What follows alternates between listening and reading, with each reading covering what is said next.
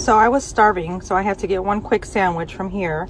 And I thought they gave me the wrong sandwich, but conveniently, McDonald's changed their packaging. Wow. What does that resemble? Yeah, so what is this? This one? Yeah, what is this new packaging? It's the McChicken wrapper. But why is it blue and white? I honestly, I don't know. I think you do know. This is in support of Israel. They changed it. They I mean, it was like that actually since a few months ago because we ran out of the regular ones. no, I don't think so. This is obviously in support of Israel.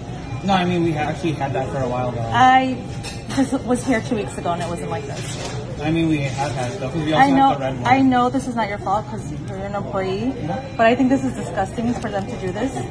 And I know you in your heart, you know in your heart that this is clearly what this wrapper is for. But I mean, I didn't know that. I'm, um, I'm explaining it to you. It is. This is what it's for. This is the color of their flag.